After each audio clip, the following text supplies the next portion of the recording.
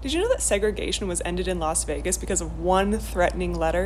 So prior to 1960, Vegas was known as the Mississippi of the West because the segregation was so bad.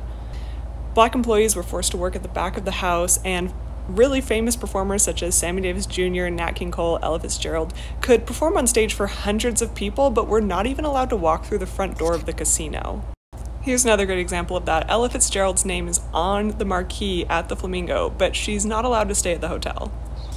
So in March of 1960, the head of the NAACP chapter in Las Vegas wrote a letter to the mayor at the time saying that if the city was not integrated, that there would be a massive protest.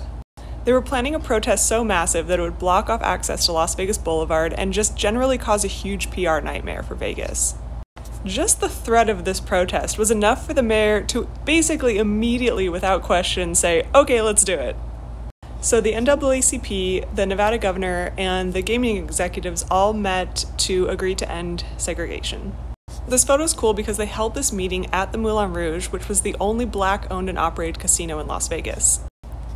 Here's a great photo of these same men outside of the Moulin Rouge in 1994.